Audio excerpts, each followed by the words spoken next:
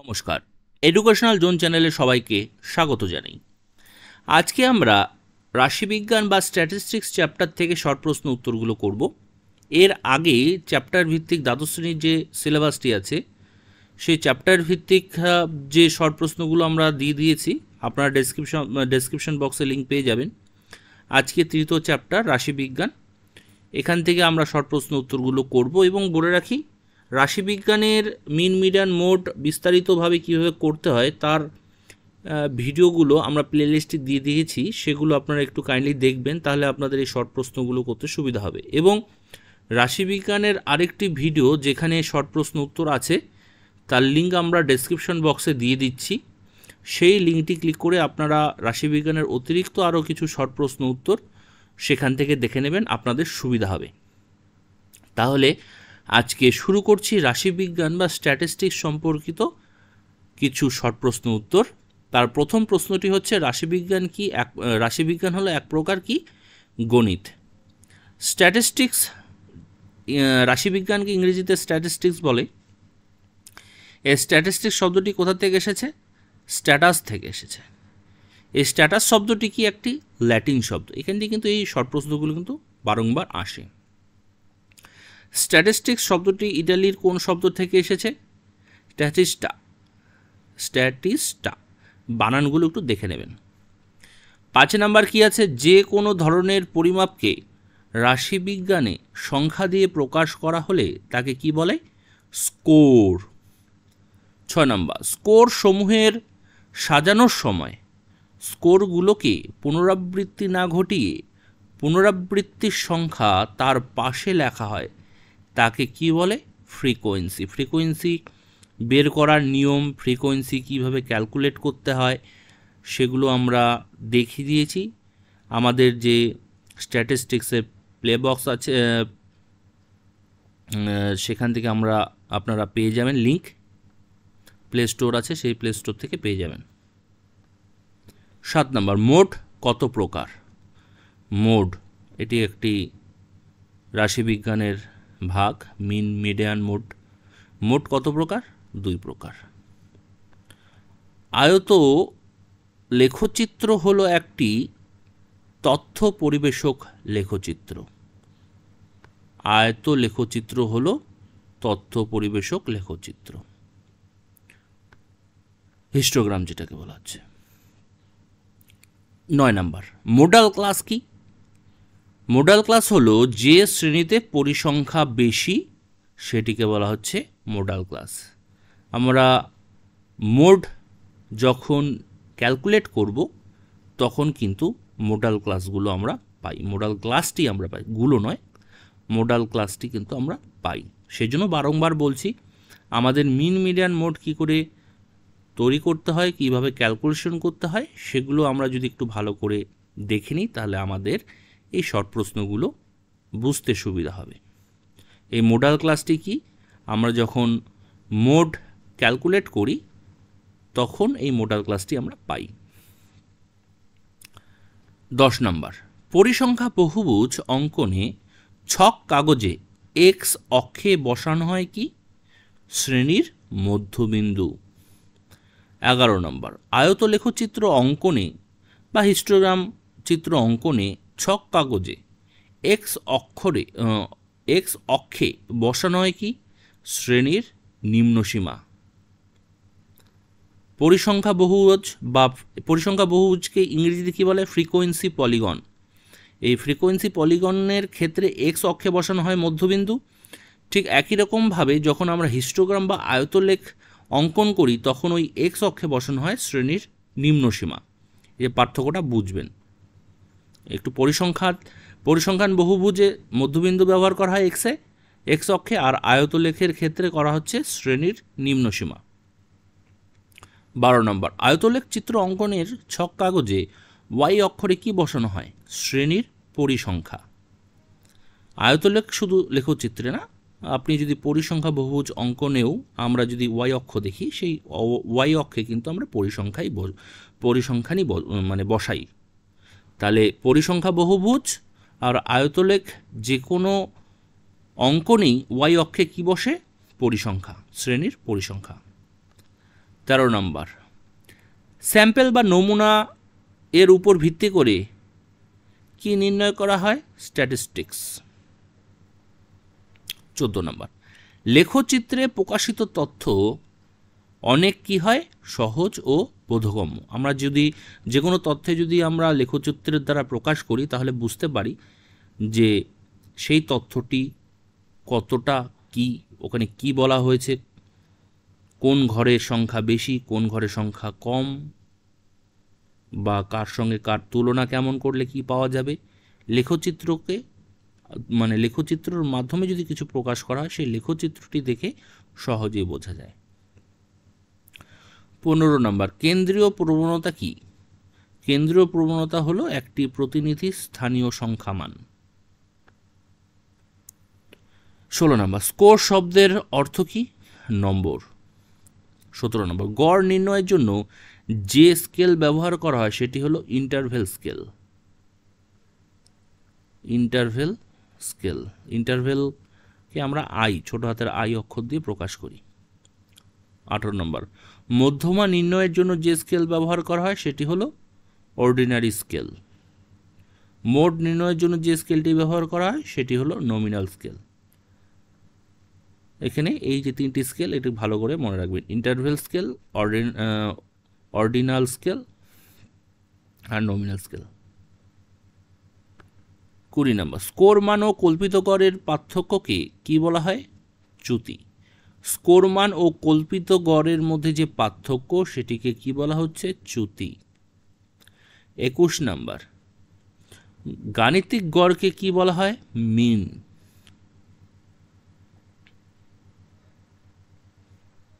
বাইশ নাম্বার। পরিসংখ্যা বিভাজনে ট্যালিমার্কের গুচ্ছটিতে সংখ্যা হলো পাঁচ।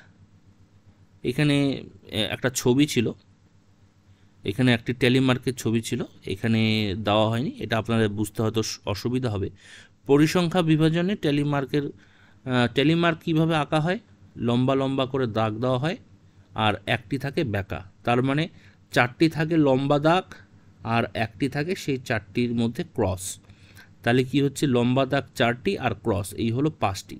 এই পাঁচটি মিলে আমাদের যে গুচ্ছ তৈরি হয় তাহলে ট্যালিমার্কের গুচ্ছের মধ্যে যে সংখ্যা থাকে, সেটি হলো পাঁচটি থাকে।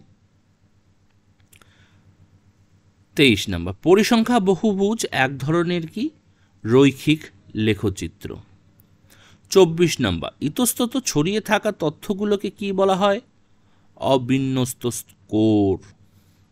পঁচিশ নম্বর, রাশিবিজ্ঞানে এই যে চিহ্নটা দেওয়া আছে, এটা স্ল্যাশ চিহ্ন ব্যাকা করে দেওয়া আছে। এটা অনেক সময় সোজাও থাকে। রাশিবিজ্ঞানে এই চিহ্নটি দ্বারা কি বোঝানো হয়? ট্যালিমার্ক। ট্যালিমার্ক বসানো, ওই যে বললাম যে লম্বা লম্বা করে দাগ থাকে।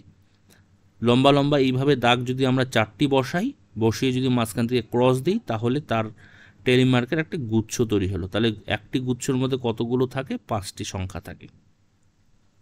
ছাব্বিশ নাম্বার। কোনো শ্রেণির অন্তর্ভুক্ত ট্যালির সংখ্যা থেকে নির্ণয় করা হয় কি? পরিসংখ্যান মান। আমরা ট্যালি মার্কগুলো গুনে গুনে আমরা কি পাই? পরিসংখ্যান মান পাই। উপরে একদম সাতাশ নাম্বার, সবার ওপরে। যেসব তথ্যকে কেবলমাত্র গুণের দিক থেকে পৃথক করা হয় আবার বলছি, যেসব তথ্যকে কেবলমাত্র গুণের দিক থেকে পৃথক করা যায়, সেগুলোকে কি বলা হয়? গুণগত তথ্য। দুটো জিনিস আছে, একটি গুণগত তথ্য, একটা একটি হলো পরিমাণগত তথ্য।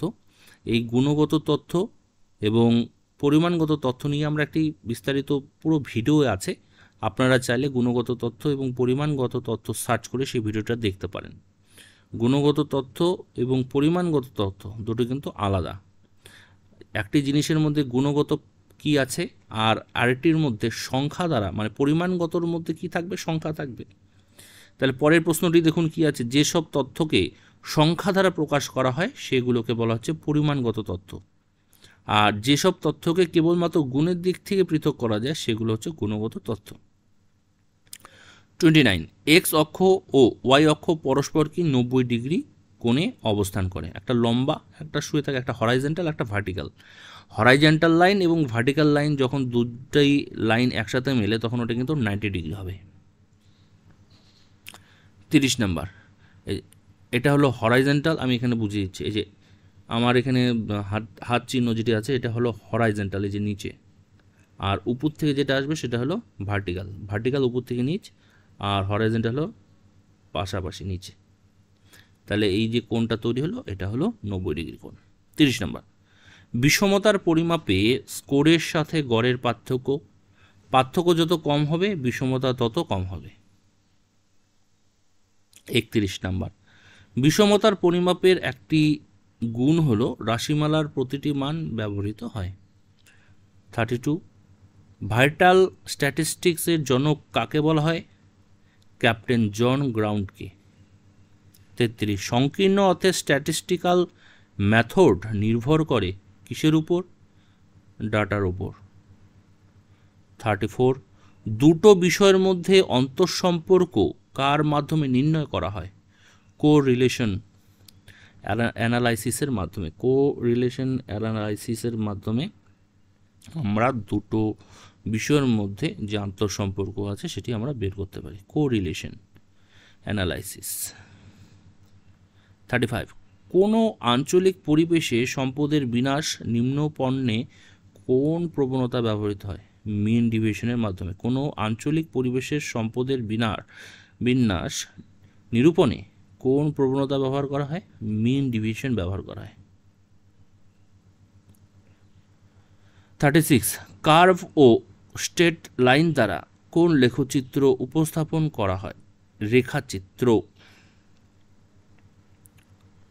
থার্টি সেভেন পরিসংখ্যানের আলোচনায় দুটো সংখ্যার দ্বারা কোন রাশিতত্ত্বের পরিধিকে, আবার বলছি, পরিসংখ্যানের আলোচনায় দুটো সংখ্যার দ্বারা কোনো রাশিতত্ত্বের পরিধিকে কি বলে? শ্রেণি ব্যাপ্তি।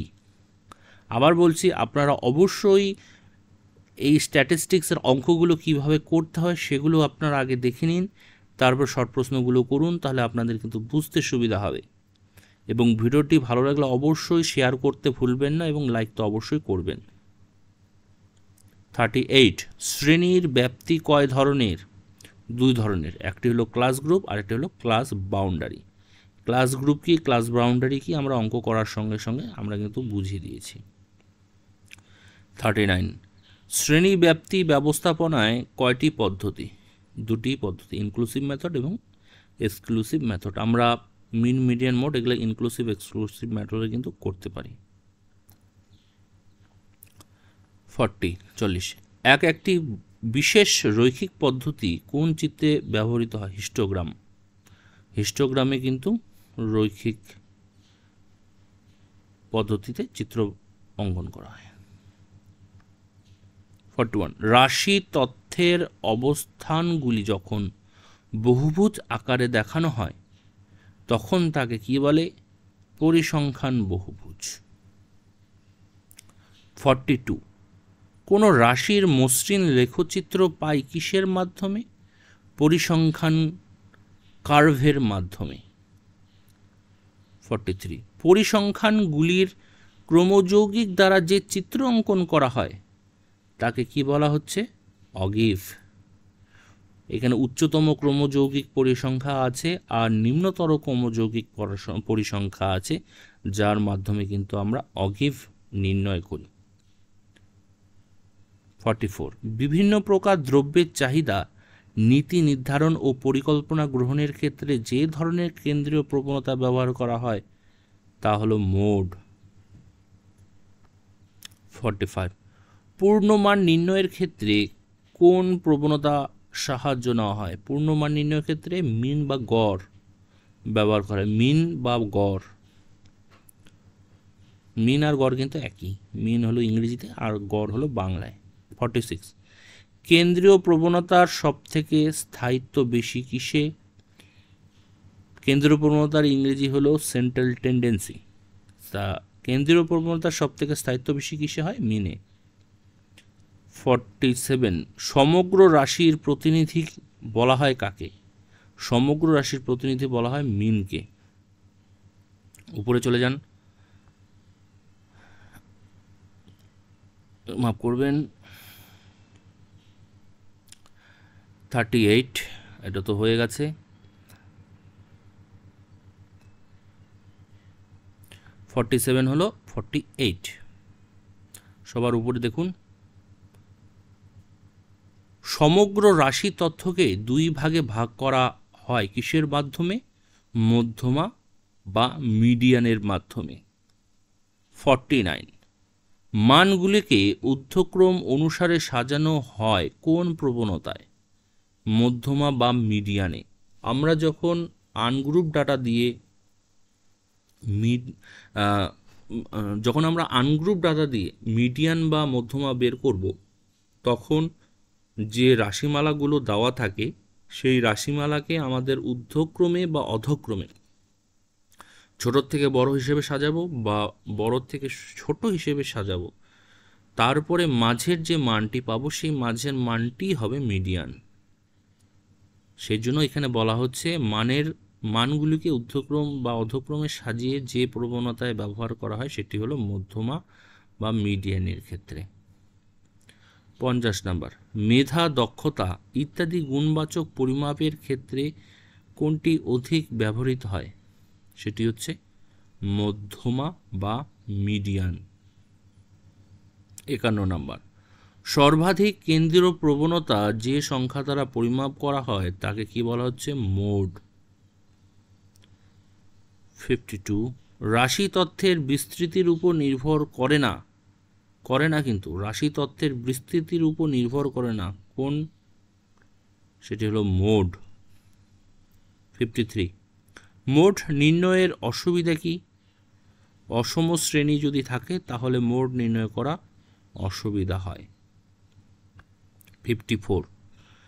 বাজার দ্রব্যের মূল্য নির্ধারণ ও বিভিন্ন দ্রব্য উৎপাদনের ক্ষেত্রে সবথেকে গ্রহণযোগ্য হল কোন পদ্ধতিটি? সেটি হলো মোড। বাজার দ্রব্যের মূল্য নির্ধারণ ও বিভিন্ন দ্রব্য উৎপাদনের ক্ষেত্রে সবথেকে গ্রহণযোগ্য পদ্ধতি হলো মোড। Fifty five. যখন আমরা কোনো রাশিকে সমান চার ভাগে ভাগ করি, তখন তাকে বলা হচ্ছে চতুর্থক। ফিফটি সিক্স কোনো পরিসংখ্যানের রাশি তথ্যকে দশ ভাগে ভাগ করলে তাকে বলা হয় ডেসাইন। ফিফটি সেভেন কোনো রাশি সংখ্যানের সরি কোনো কোনো পরিসংখ্যানের রাশি তথ্যকে যখন নিরানব্বইটি মান দিয়ে মোট একশো ভাগে ভাগ করা হয় তখন তাকে বলা হচ্ছে পার্সেন্টাইল। আমরা কিন্তু অনেক ক্ষেত্রে এখন পরীক্ষার খাতায় পার্সেন্টাইল নাম্বার দেখি। তাহলে কি কোনো পরিসংখ্যানের রাশি তথ্যকে যখন নিরানব্বইটি মান দিয়ে মোট একশো ভাগে ভাগ করা হয়, তখন তাকে বলা হচ্ছে পার্সেন্টাইল। সেই জন্য দেখবেন পার্সেন্টেজ আর পার্সেন্টাইল কিন্তু দুটো আলাদা। পার্সেন্টাইল পার্সেন্টেজের সঙ্গে থেকে কিন্তু একটু বেশি হয়। আপনারা যখন এইচএসের মার্কসগুলো পাবেন পরীক্ষার পরে, তখন দেখবেন পার্সেন্টাইল মার্কস দেওয়া আছে। পার্সেন্টেজের সঙ্গে থেকে কিন্তু পার্সেন্টাইল একটু বেশি। পার্সেন্টেজ আর পার্সেন্টাইল দুটো কিন্তু গুলিয়ে ফেলবেন না, দুটো আলাদা জিনিস। ফিফটি এইট বৃহত্তম রাশি ও ক্ষুদ্রতম রাশির পার্থক্যকে কি বলা হচ্ছে? প্রসার বা রেঞ্জ ফিফটি নাইন। যখন প্রথম ও দ্বিতীয় কোয়ার্টাইল উভয়ের বিস্তৃতি বা পার্থক্যের গড় মান নির্ণয় করাকে কি বলা হচ্ছে কোয়ার্টাইল ডেভিয়েশন? যখন প্রথম ও দ্বিতীয় কোয়ার্টাইল উভয়ের বিস্তৃতি বা পার্থক্যের গড় মান নির্ণয় করাকে কি বলে? Quartile deviation. কোনো রাশি তথ্যের কেন্দ্রীয় প্রবণতা বা সেন্ট্রাল টেন্ডেন্সির পরিমাপ হতে অন্যান্য মানগুলোর বিস্তৃতি বা পার্থক্য এর গড় কাকে, গড়কে কীভাবে বার করা মিন ডিভিশন বলা হচ্ছে তাকে। একষট্টি নাম্বার। একটি রাশির মান বৃদ্ধি পেলে অপর রাশিটি যদি বৃদ্ধি পায়, তখন তাকে বলা হচ্ছে ধনাত্মক সম্পর্ক। বাষট্টি। কোনো পরিসংখ্যানের গড় থেকে, কোনো পরিসংখ্যানের গড় থেকে সংখ্যা পার্থক্যের বর্গগুলোর গড় মানের বর্গমূলকে বলে কি? স্ট্যান্ডার্ড ডেভিয়েশন বা সর্বোচ্চ বিচ্যুতি। স্ট্যান্ডার্ড ডেভিয়েশন এইচডি বলা হয় সংক্ষেপে। বিভিন্ন অর্থনীতিবিদ বা ব্যবসায়ীদের কাছে জনপ্রিয় যে কেন্দ্রীয় প্রবণতা, সেটি হচ্ছে সর্বোচ্চ বিচ্যুতি বা স্ট্যান্ডার্ড ডেভিয়েশন। এসডি যেটাকে বলে সংক্ষেপে। সিক্সটি ফোর ভৌগোলিক, অর্থনৈতিক অর আর্থসামাজিক বিভিন্ন গবেষণায় গাণিতিক প্রক্রিয়ায় ব্যবহৃত পদ্ধতি কি coefficient variant co O F coefficient variant sixty five দুটো পরিসংখ্যানের সম্পর্ক তুলে ধরা যায় কার মাধ্যমে? স্কাটার ডায়াগ্রামের মাধ্যমে। দুটো পরিসংখ্যানের সম্পর্ক তুলে ধরা যায় কার মাধ্যমে? স্ক্যাটার ডায়াগ্রামের মাধ্যমে। সিক্সটি সিক্স বাইমোডাল বা দ্বিসংখ্যা ভূমিষ্ঠক সম্বলিত পরিসংখ্যান বিভাজন। সেটা কি যখন কোনো পরিসংখ্যান বিভাজন এই দুই সংখ্যা অধিক ও সংখ্যায় অবস্থান করে, তখন ওই পরিসংখ্যান বন্টন বাইমোডাল বলে। যেমন দশ, বারো, ছয়, নয়, বা, পনেরো, বারো, আট সাত, তেরো তেরো তেরো দুইবার আছে। এই যে তেরো যে দুবার আছে, বারো দুইবার আছে, সেজন্য এটাকে বলা হচ্ছে দ্বিসংখ্যা ভূমিষ্ঠক bimodal.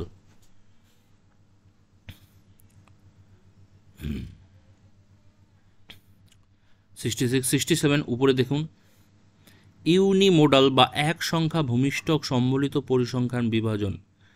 এই বন্টনে একটি স্কোরেই অধিকবার অবস্থান করলে তাই এই পরিসংখ্যান বন্টনকে ইউমোডাল, ইউনিমোডাল বলে, যেমন পাঁচ, সাত, তিন, ছয়, নয়, সাত, দশ, এগারো। আপনাদের একটা জিনিস বলতে ভুলে গেছি, এই মোড মোড বের করার নিয়ম হলো একটি রাশিমালায়, এই যে এইভাবে যখন রাশিমালাগুলো দেওয়া থাকবে, সেই রাশিমালায় যখন একটি সংখ্যা অধিকবার ব্যবহৃত হবে, তখন ওই সংখ্যাটি হবে নির্ণেয় মোড। তাহলে এখানে দেখবেন যে একটি সংখ্যা অধিকবার কি আছে? বারো দুইবার আছে, তেরো দুবার আছে। সেই জন্য বারো এবং তেরো উভয়ই হলো এই রাশিমালার মোড সেই জন্য বলা হচ্ছে দ্বি সংখ্যা ভূমিষ্ঠক আর এখানে কি দেখবেন? ইউনিমোডালে কি দেখবেন? যে পাঁচ, সাত, তিন ছয়, নয়, সাত। এখানে দেখবেন সাত দুবার আছে। এই যে সাত এখানে একবার, এই যে এখানে একবার। সেই জন্য এই স্কোরের নির্ণয় মোড হলো সাত। সেই জন্য এটাকে বলা হচ্ছে ইউনিমোডাল বা এক সংখ্যা ভূমিষ্ঠক তার এই রাশিমালায় আমরা একটি মোড পেলাম। এবার সিক্সটি এইটে দেখুন কি মাল্টি মোডাল ফ্রিকোয়েন্সি ডিস্ট্রিবিউশন বা বহু সংখ্যা ভূমিষ্ঠক সম্বলিত পরিসংখ্যা বিভাজন। ওটা কাকে বলে? যদি কোনো বন্টনের পরিসংখ্যান বিভাজন দুইয়ের অধিক সংখ্যা বেশিরবার অবস্থান করে, তখন তাকে বহু সংখ্যক ভূমিষ্ঠক সম্বলিত পরিসংখ্যা বিভাজন বলবে। এখানে দেখুন পাঁচ, নয়, সাত, ছয়, বারো, দশ, এগারো, আঠারো, আট আট, বারো, তেরো বারো, তেরো। এখানে দেখুন বারো কতবার আছে? বারো আছে তিনবার, তেরো আছে অনেকবার, আট আছে অনেকবার। এই যে বারো, তিনবার আছে, এটাকেই বলা হচ্ছে multimodal frequency distribution sixty nine যেসব তথ্যকে মূল উৎস থেকে সংগ্রহ করা হয়, সেগুলোকে কি বলা হচ্ছে? প্রাথমিক তথ্য। বা প্রাইমারি ডাটা কিন্তু কেউ কোনো তথ্য আগে বের করে রেখেছিল, কোনো গবেষণার কাজে যদি অন্য কারও তথ্যগুলো আমরা নিজেরা ব্যবহার করি, তখন সেটাকে বলা হচ্ছে সেকেন্ডারি ডাটা কিন্তু আমরা যদি ডাইরেক্টলি কোনো তথ্য সংগ্রহ করি, সেটি হচ্ছে প্রাইমারি ডাটা তাহলে আশা করি বুঝতে পারছেন প্রাইমারি ডাটা এবং সেকেন্ডারি ডাটা কাকে বলে? সত্তর নাম্বার। শিক্ষাবিজ্ঞান বা মনোবিগ শিক্ষাবিজ্ঞান বা মনোবিদ্যায় ব্যক্তি সংক্রান্ত যেসব সংখ্যা ও তথ্যাবলী পাওয়া যায়, সেগুলোকে রাশিবিজ্ঞানের পরিভাষায় কি বলা হয়? স্কোর বলা হয়। একাত্তর। গাণিতিক অর্থে পরিমাপের ফল হিসেবে যে স্কোর পাওয়া যায়, সেগুলোকে বলা হয় কি? চল। বাহাত্তর। যে শ্রেণীতে দুটো স্কোরের মধ্যবর্তী ব্যবধানে কোনো ক্ষুদ্রতম অংশ থাকে না তাকে কি বলা হচ্ছে? বিচ্ছিন্ন শ্রেণি। সেভেন্টি থ্রি শ্রেণি প্রসার বা শ্রেণি ব্যবধানকে প্রকাশ করা হয় কীভাবে? আই অক্ষর দ্বারা। শ্রেণির প্রসার বা শ্রেণির ব্যবধানকে ইংরেজি কি, ইংরেজিতে কী বলা? ইন্টারভেল শ্রেণির ব্যবধানকে বলা হচ্ছে ইন্টারভেল তাহলে ইন্টারভেলের আই সেটি হলো ছোট ছোট অক্ষরের আই দ্বারা প্রকাশ করা হয়। ইন্টারভেলের আইটা। সেভেন্টি ফোর কোনো অবিচ্ছিন্ন শ্রেণির ঊর্ধ্বসীমা ও নিম্নসীমার বিয়োগফলকে বলা হয় শ্রেণির প্রসার। কোনো অবিচ্ছিন্ন শ্রেণির ঊর্ধ্বসীমা বলতে একটা সংখ্যার, ধরুন প্রথমে আছে দশ, তারপরে আছে ড্যাশ, তারপরে হলো কুড়ি, দশ থেকে কুড়ি। তাহলে কুড়ি থেকে এখানে কি বলছে? ঊর্ধ্বসীমা ও নিম্নসীমার বিয়োগফলকে বলা হচ্ছে শ্রেণির প্রসার। তাহলে দশ থেকে কুড়ির মাঝে কত সংখ্যা আছে? তাহলে কুড়ি হলো ঊর্ধ্বসীমা আর দশ হলো নিম্নসীমা। তাহলে কুড়ির থেকে দশ বাদ দিলে কত পারলাম? দশ পেলাম। তাহলে সেই শ্রেণির প্রসার কত? দশ। তাহলে শ্রেণির ঊর্ধ্বসীমা কত ছিল? কুড়ি ছিল আর নিম্নসীমা কী ছিল? দশ। এটা কিন্তু শ্রেণির প্রসার বের করার নিয়ম। সেভেন্টি ফাইভ অবিন্যস্ত তথ্যের জন্য আমরা যে লেখচিত্র অঙ্কন করি, তাকে বলা হচ্ছে স্তম্ভ লেখচিত্র। সেভেন্টি সিক্স ফ্রিকোয়েন্সি বন্টনে সর্বোচ্চ স্কোর ও সর্বনিম্ন স্কোরের মধ্যে যে ব্যবধান থাকে, তাকে বলা হচ্ছে প্রসার বা রেঞ্জ। আগে যে শ্রেণির প্রসার বললাম, ঠিক একই রকমভাবে শ্রেণি ফ্রিকোয়েন্সি বন্টনের সর্বোচ্চ স্কোর ও সর্বনিম্ন স্কোর, এটা ভাষা একটু ইংরেজিতে দেওয়া হয়েছে, চেঞ্জ করে দেওয়া হয়েছে। তাকে কী হচ্ছে? প্রসার বা রেঞ্জ। সেভেন্টি সেভেন রাশিমালার কেন্দ্রীয় প্রবণতায় এক এর অধিক থাকলে তা হতে পারে ভূমিষ্ঠকে। রাশিমালায় কেন্দ্রীয় প্রবণতা একের অধিক থাকতে পারে ভূমিষ্ঠকে।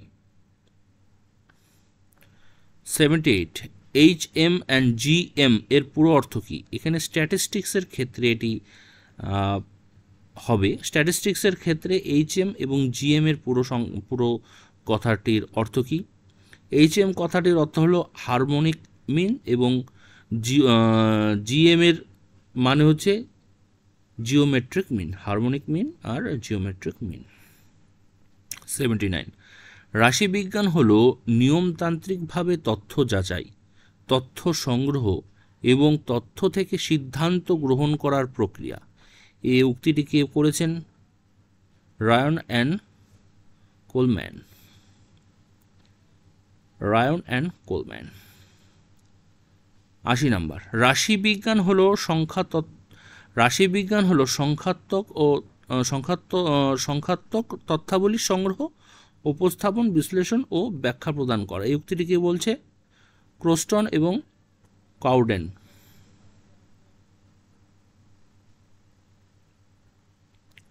একাশি নাম্বার। মধ্যম মান হল সারিবদ্ধ তথ্যের কেন্দ্রীয় রাশির পরিমাপ। মধ্যম মান হল রাশিবদ্ধ তথ্যের কেন্দ্রীয় রাশির পরিমাপ। উক্তিটি কে করেছেন? S K Kapoor. আজকে শেষ প্রশ্ন এইটি টু মোট হল কোনো রাশিমালার সর্বাধিক সংঘটিত রাশি। মোট হল কোনো রাশিমালার সর্বাধিক সংঘটিত রাশি। এই উক্তিটি কে করেছেন? A M turtle. টাউটেল আমি স্পেলিংয়ে যা পাচ্ছি তাতে আশা করি এই উচ্চারণটি হচ্ছে। তাহলে আশা রাখছি এই ভিডিওটি আপনাদের ভালো লেগেছে। আবার বলে রাখি, এই শর্ট প্রশ্নগুলো করার আগে আপনারা মিন মিডিয়ান মোড কীভাবে ক্যালকুলেশন করতে হয়, কীভাবে ছবি আঁকতে হয়, সেগুলো আপনারা শিখে নিলেই অটোমেটিক্যালি এখানকার যে শব্দগুলো ব্যবহার করা হয়েছে, সেই শব্দগুলো কিন্তু আপনারা বুঝতে পারবেন। অন্যথায় আপনারা বুঝতে পারবেন না। সেজন্য আগে কীভাবে ক্যালকুলেশন করতে হয়, কীভাবে ছবি আঁকতে হয়, সেগুলো আপনারা শিখে নিন, তারপর শর্ট প্রশ্ন উত্তরগুলো করবেন। আশা রাখছি ভিডিওটি ভালো লেগেছে। যদি ভালো লাগে, ভিডিওটি অবশ্যই লাইক করবেন শেয়ার করবেন, কোনো মতামত থাকলে অবশ্যই কমেন্ট বক্সে লিখে আমাদের জানান। সবাই ভালো থাকবেন, বিদায় নিচ্ছি। সবাইকে অসংখ্য অসংখ্য ধন্যবাদ।